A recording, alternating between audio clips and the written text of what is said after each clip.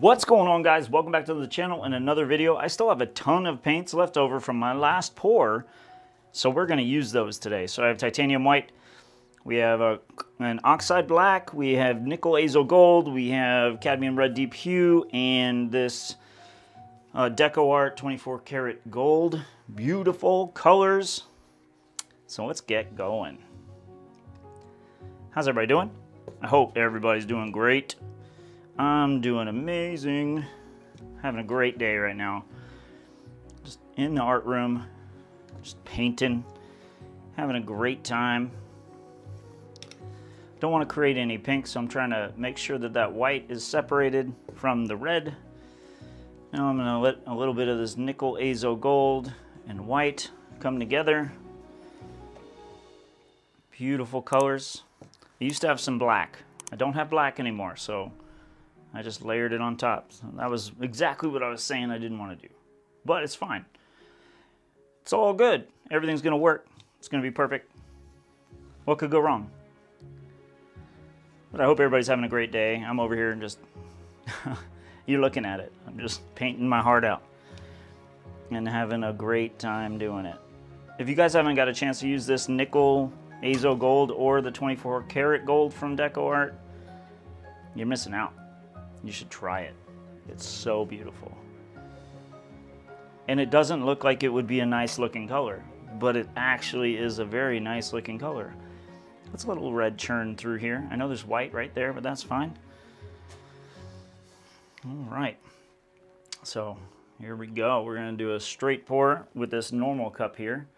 And I'm actually not going to spin the canvas this time. So we're just going to see what the difference makes. And there we go. I don't think I'm in the middle.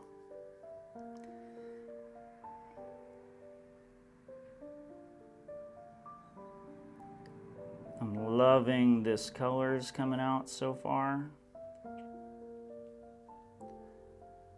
Beautiful colors. It's a chilly day in Phoenix today. It's warming up as the day progresses though, so that's fantastic. We're just waiting to see some of that white mixing with that azo gold. You're starting to see it right now. Creating almost a yellowish gold color. And you guys, I love it.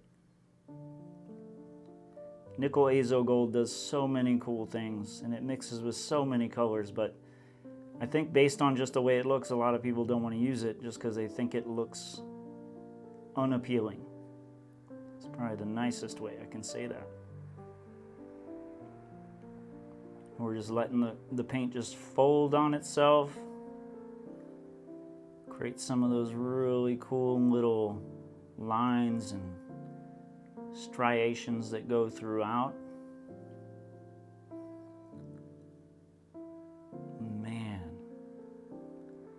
It's almost like a rainbow of green and yellow in that one section. I don't even know why. It's beautiful. It must be white mixing with that nickel azo gold, creating some really cool little lines. So I'm gonna bring this cup down a little bit closer. So we're controlling what's going on here. Just dripping out. So now we're getting to the center of our pour. And whatever little inconsistencies and shakes that you have right now is what you will definitely see in the end. And see it dripped? I was supposed to catch that, and I did not. Caught the second one though. All right.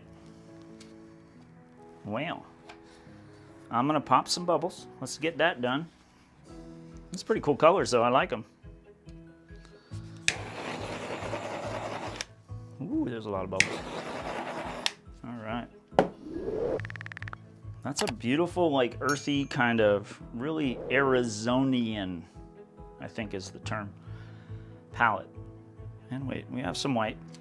So instead of possibly having problems later, Let's put a little bit in the corners. Then you can take your stick and just spread it because the only purpose of this paint right here is to help the others slide. You shouldn't see it. It shouldn't pop up through the paint. This is just to kind of give the, the paint something to move on, to move across.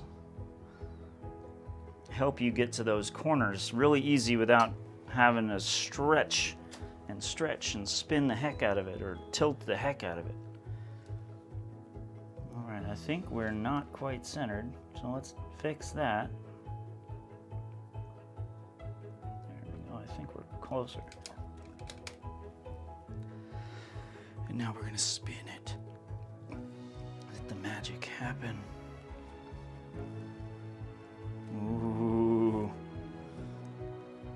There's a lot of lines in this one. Oh my goodness.